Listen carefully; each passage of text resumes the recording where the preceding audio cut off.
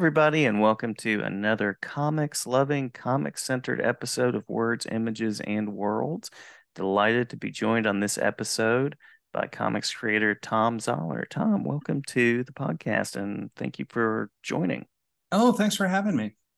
Yeah, my absolutely my pleasure. I'm always delighted to talk to people that do visual works and uh, it was a big part of my reading life growing up, and I continue to enjoy the work that you do. I mentioned Love and Capes, Cupid's Arrows. Um, yeah, very creative, and I love the style that you you bring to that. Oh, thank you, thank you. Yeah, absolutely. So, what what was it about comics? Were you a comics reader as a kid? Is this something that came up um, through the years? What was your journey like? I have no memory of not reading comics. Um, my dad taught me to read at a really early age. I was reading like two and a half, and he used them as a reward system. So nice. I cleaned my room, got a comic. Um, so I got a lot of comics, and my parent, my dad had done a little bit of art. My aunt had done a little bit of art, but it was always kind of an option in my family. So it didn't feel like I'm going into art. Nobody's ever done that before. It was, oh well, that is a job that people have, and um, it took some convincing on a couple parts, but mostly it was that kind of going into the NBA. There's always a new crop of people, but it's really hard to be part of that crop. Um, so yeah, it was just it was just always an option. I I don't remember not reading comics. I don't remember not wanting to be a cartoonist. That's this is all I've wanted to do. Nice, nice, uh, and yeah, I have a similar story of comics were just always kind of there, at least from mm-hmm. the age of six or seven. Um, so definitely a, a part of reading life and then so you one of the things I, I mentioned already is the style that you bring to the books that you do. Are there any particular influences or inspirations? How, how did you kind of develop your your style? Oh i uh, i fought against it. I really wanted to be george perez or curt swan. Um yeah, yeah. those were my favorites growing up. Um i didn't realize that i kind of moved more towards like kurt schaffenberger in my style uh, back back when I was at Kubert, and I always inked heavy. Like I inked, I had a Ty Templeton line quality. It was very it was cartoony inks, and I was trying to do realistic art. Um, but when Batman the Animated Series came out, suddenly it validated like that style could work for anything. Uh-huh, uh-huh. And once I did that, it was like, oh, I just got to hit this inside fastball all the time. Like I I didn't realize that was my natural inclination, but when I realized that, that's when things started clicking. Yeah, I, I also I appreciate George Perez, but the Batman Adventures and you know the the subsequent books through that series, and, and they continue now, um, was just such a landmark reading for me as a kid, and, and love that Ty Templeton mm-hmm. kind of style. Yeah. yeah. he he's done a written interview with me, but uh, I don't know that he's doing audio podcasts anymore. But okay, yeah, that's and that's probably as you say that. Uh, probably one of the reasons that I'm drawn to it because I love that like Bruce Timm, Ty Templeton, yeah, uh, Darwyn Cooke, yeah, mm-hmm, mm-hmm, uh, absolutely. There's a Darwyn Cooke piece right behind me. He did a cover for Love and Capes. Yeah, um, yeah, love it, love it. Yeah. Um, so speaking of that, I, I was going to ask, and this is not officially on the list, so you're welcome to pass. It's okay uh, if you want. But just thinking about uh, as you've been in the industry and as you've worked with folks, are there are there people that you found to be particularly positive collaborators, positive relationships in the the comics world? Um, relationships, yes. Collaborators that feels a little dicier, just because I tend to work alone. Mm-hmm, um, mm-hmm uh, I do. I super love working with Tony Fleecs and um, uh, Andy Price on My Little Pony. Um, My Little Pony is the book that I've collaborated on the most, and that has been it's different different for me. It's an interesting experience because mostly what I did before doing Love and Capes and Raider and all that stuff was lettering, and while that is collaborative, you're like the last person on the totem pole, and there's not a lot of places to interact but Tony was the one who would call out my scripts and more than my editor sometimes and say, "Oh, you can write a funnier joke than that." I'm like, hmm, "Yeah, you're right." Um, I like having that kind of honesty where yeah, yeah. where you know it's coming from a place of someone uh, like you completely trust the source that's telling you stuff and they know when to pull that card and when not to pull that card. Uh-huh. Um, but relationships, oh, so many. Um, Tony Isabella and Bob Ingersoll are friends. My Tony, I approached at a comic book convention in the '80s and asked him if he needed an apprentice, and that's how I got to know him. Uh, nice. He was like the he lives in Cleveland and is the first comics professional that I ever really got to meet. Um, man, uh, Paul Storrie is a really good friend of mine. He's a comic book writer. Uh, mm-hmm. We bounce things back and forth a bunch. Luke Daab, who's an illustrator. Um, like I said, Tony and Andy, and I'm sure there are more that I am forgetting. Um, but yeah, like because it's weird. You come in with people who are like at your level, and you can deal with them in one level and then there are people who are above you and then you become friends with them and that's awesome and weird and um, i was friends with dwayne mcduffie and yeah. but i was better friends with his wife. Like there there was this one year at san diego that she and i and a bunch of animation writers were all hanging out at a fire pit outside the animation party that year. And we were all coming up at the same time. So when i was trying to do an animation script i would send it to charlotte. I would send it to eugene but it felt weird to send it to Dwayne because even though I knew him, it was like that was one level above. And uh, I remember talking to him at a free comic book day event, and I went to use the bathroom, and I came back, and Dwayne's like, "What's this I hear about you having a spec script I haven't read yet?" And just called me out on it and took the script. So yeah, the, there there's lots of relationships like that. Like it it weirds me out that I can talk to Walter Simonson, and a lot of times we just talk about like NCIS or something. Yeah, yeah. You know, and I've had very brief, you know, as a fan, as a, a comics convention attender, very brief interactions with Walter Simonson, but he just seems to be just a kind soul, just a oh, kind yeah. person. Yeah. Yeah. Yeah. Um, you mentioned someone else there that I was going to touch on, but oh, you mentioned My Little Pony.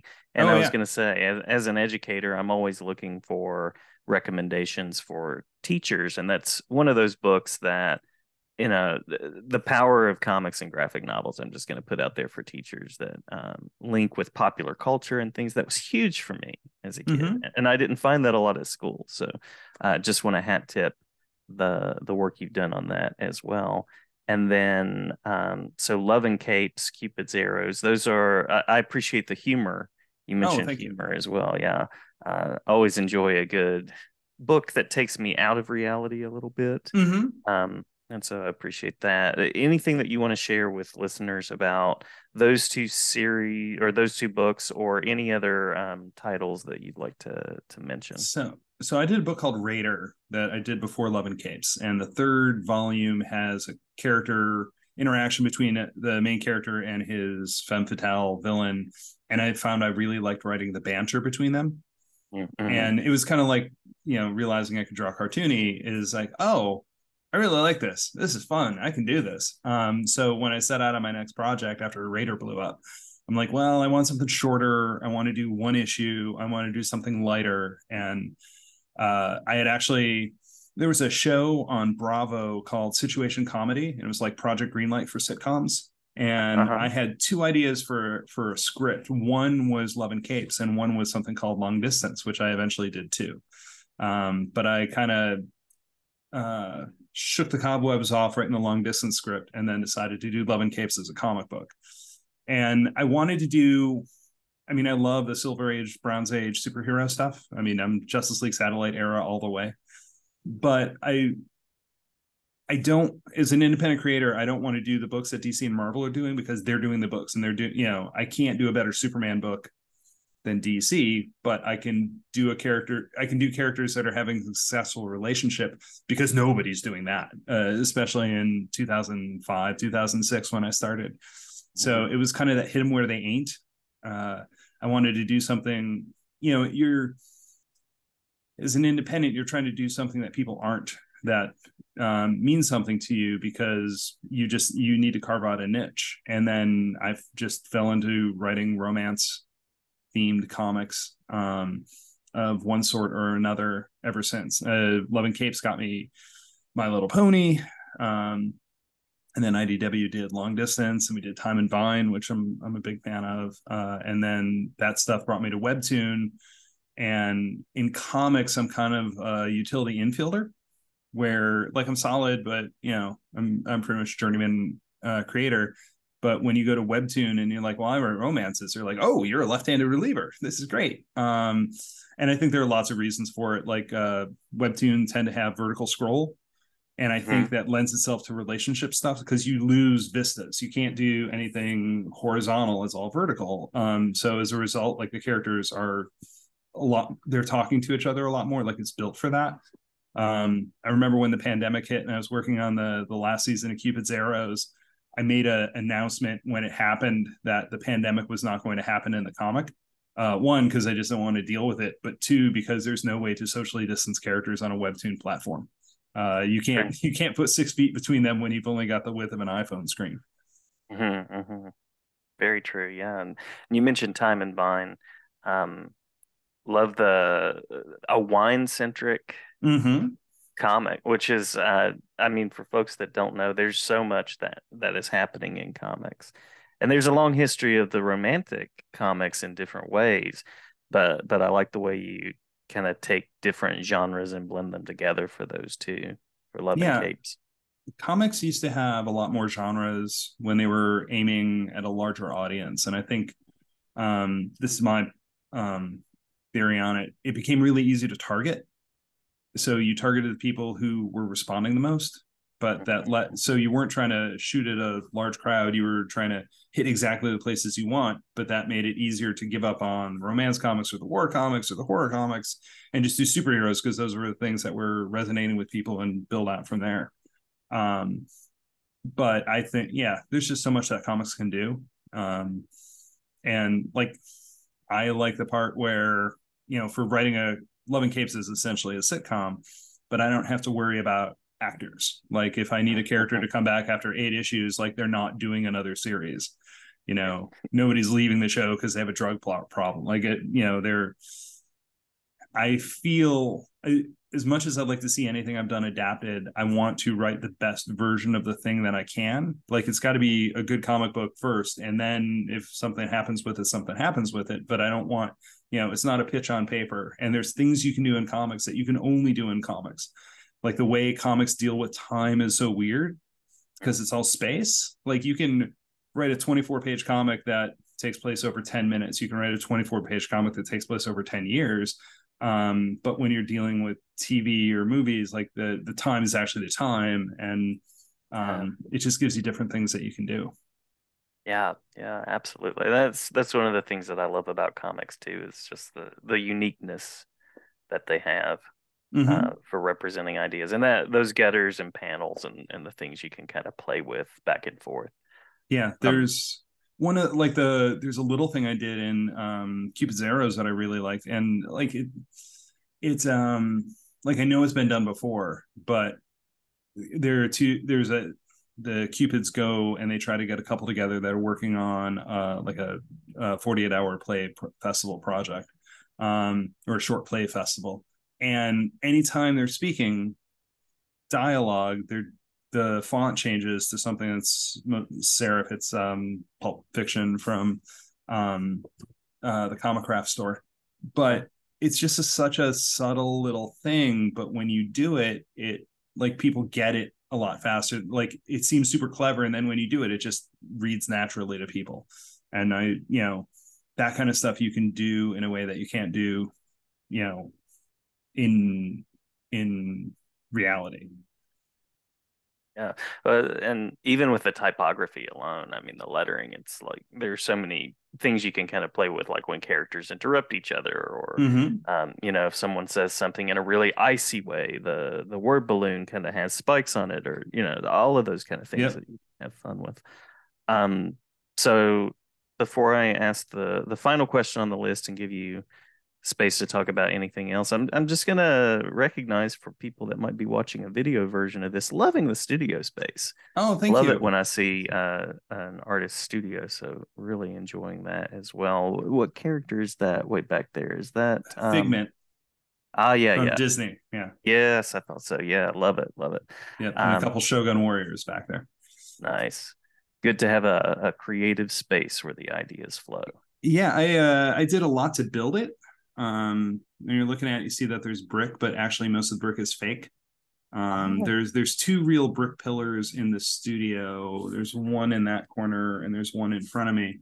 And when I bought the house, like I, it was one of those weird things where like it, like this room came to me fully formed, and mm. initially like it's all natural textures. Like my desk is glass and metal, and my you know, it's brick walls and hardwood floor and it's actually in my head designed like Michael Wiseman's apartment or from uh, Now and Again, this yeah, uh, yeah. 2000 show that I adore that uh, got canceled.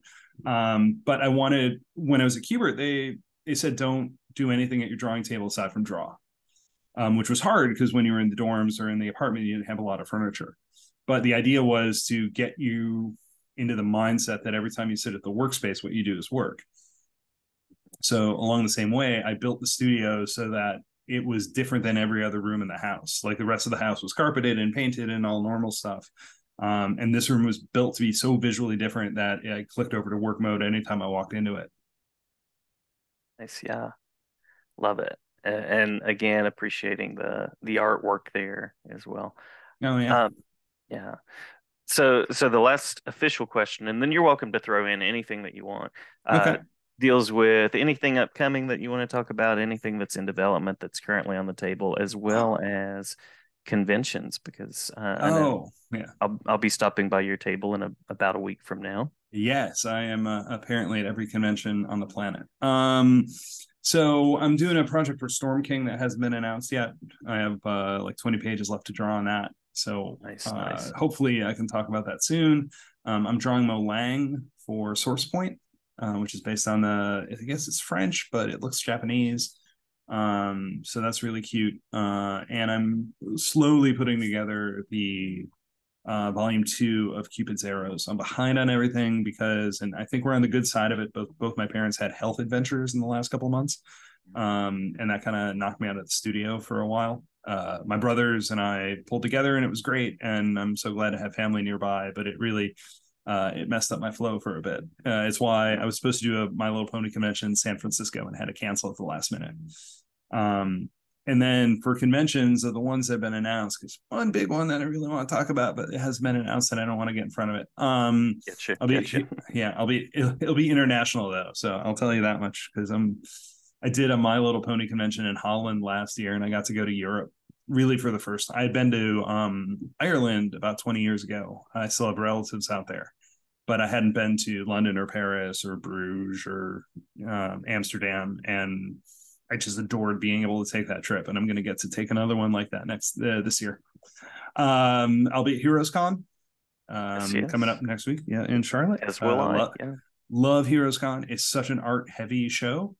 Um, and then I'll be in Fan Expo Denver uh, where one of my brothers lives. So I always go try to do that show. I'll be at the Bataan Death March that is San Diego, um, which I I love, but it's a lot of work. Like that's the big one. Um, And then uh, Dragon Con, Baltimore. I love Baltimore. Love Dragon Con. Uh, they're they're both very different shows. Baltimore is my unofficial home show. Um, oh yeah, um, yeah, yeah. And then uh, Dragon Con is just so much fun. It's the only show I dress up at uh, and I did that for the first time last year. Because uh, since I'm in my uh, silver fox years, I've decided that I uh, can do the pike.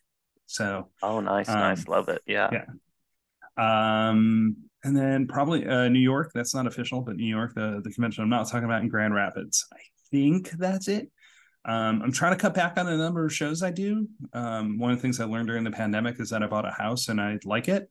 Um, yes, like yeah, I, true. I've been away from it for so long, uh, but every time I try to not do shows, then like opportunities I can't say no to show up.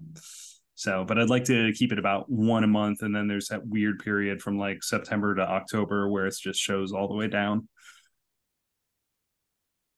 Yeah, I, have heard such good things about Baltimore. I'm gonna have to make yeah, it out that way sometime. It is a uh, um, it is very much a comic book show, which I appreciate. Like they bring in just enough media guests to make it interesting, but not so much that they overwhelm. Um, because especially when you're in a like a smaller market, I think you have to be a couple more things to like um in a larger area you can focus on one thing and get enough people in but in a place like columbus you need to have a show that's got actors and comic books because it's hard to it's hard to support that area. You need something for everybody to come in for. Um, and I think Baltimore does a really good job balancing that.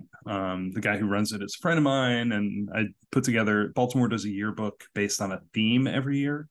Uh, they've done Strangers in Paradise and Archie and um, uh, Grendel and David Petersen's Mouse Guard, all sorts of stuff. Uh, and this year they're doing independent creators of the 80s. So it's going to be Sable. I'm going to forget somebody. It's going to be Sable and Mars and E-Man and American Flagg and Nexus and the guy I'm forgetting, uh, Grimjack. Oh yeah, yeah, yeah. So cool, very yeah. cool. Love the creativity. Mm-hmm. Um, and so I'll be seeing you. I'll stop by your table here in about another week. Yeah, in yeah, Charlotte. Leave on Thursday at stupid o'clock. Yeah, yeah. Iced coffee with no creamer is a great like shock to the system. I'm just going to recommend that if I, you're traveling overnight. you know, I I go through all sorts of different ways of thinking about it. Um, my flight is like at six in the morning, um, and then I fly through Baltimore. And part of me, sometimes I think about what to do to wake up, and I'm like, no, go to the flight tired. Like it'll be easier to fall asleep. Like there's a, um, I'm six four and like I fly the way Wolverine's claws pop out. Like, does it hurt every time? um, yeah, like I'm just not built for this toy line, and uh, you know, so anything I can do to not be awake for it is better for me. Nice, nice, yeah, yeah. Love the reference there too. Love it. Um, well, well, those were my questions. Anything that I missed that you want to make sure to to share about as far as your work, inspirations, and also uh, sending care for your family? And glad oh, that, that things are good and better now yeah. Uh let's see. No i got i got stuff out there i like people to read. Uh warning label is a great um self-contained thing that is available on amazon. Um time and vine i adore and was so much fun to do the reference on. Uh yeah. it was one of those projects that came like almost fully formed where when i came up with the idea it's a time traveling winery where you drink a go to the right tasting room you drink a bottle from 1912 you go back to 1912 and I definitely wanted the story to take place in New York. I wanted to be on the Eastern Seaboard because I wanted to do American history and you know from the from the founding of the country and be able to play with that. Mm-hmm. And I'm like, oh, has there been a winery that's been around for like, you know, I know the California wine scene. Is that you know was that a thing? And like, no, the oldest continuously operating winery in the United States is in upstate New York, exactly where I needed it to be. And uh, I got a book on it, and then I went out and visited a couple times. Um, so much fun to do the research on that book. So, yeah, um, yeah. and uh, right now, um, what I've been doing with Love and Capes is it appears on my Patreon page. So. I would generally do about a page a week. I did it um, as therapy during COVID. I brought the characters back after Volume Five, and uh, had them going through COVID, but like three to six months in the past. So all, everything was accurate. Like I wasn't trying to guess where anything was going. I was dealing with what had happened. Mm-hmm. Um, mm-hmm. and then it collected up in a Kickstarter, and then I did a Christmas one, Home for the Holidays. Uh, I'm putting other stuff on Patreon right now, and then eventually, eventually, I will go back and do Love and Capes that way again because I left the last um, holiday volume in such a place where there are definitely more stories to be told. I haven't figured out what any of them are, but I left myself a lot of stuff to play with. Very, very so. cool. Very cool. I love the idea of writing and creating as uh, therapy. And uh, do you have any wine pairings with Time and Vine? Any recommended oh. wine pairings? Uh, I don't know that that's a thing anymore. I think you can kind of mix it up as you like, but yeah. anything that works uh, works well. I, I don't know. Uh, I would drink just about anything with it. Um, I bought yeah. when I, I, signed a particularly big contract a few years ago, and I bought a six pack of Skywalker wine, uh, George yeah. Lucas's wine. That was oh, a lot nice. of fun. And I'm a member of um, Stephen Amell's wine club, Nocking Point, and they they ship some really nice stuff out uh, every now and then. Uh, I mean, it's a three month. I mean, it's a three month uh, subscription, so I get three bottles every every three months, and it's just like he's a lot of fun, and the wines are a lot of fun, and a lot of times they pair up with different actors. There's one that Jason Momoa worked on, um, just all sorts of stuff that, uh, yeah, it's just it's fun to get them in the mail. Yeah, yeah, that's cool. That's cool. I'll have to look into that. Um, well, wonderful conversation. Thank yeah. you for for dropping by, zooming in, however we want to say that, and always glad to share pleasure. about your work. Yeah, yeah. Excellent. Thanks. Thanks for agreeing to come on. Sure. Thanks for having me. Yeah, my pleasure. And uh, talk again soon and see you soon. All right. Sounds good.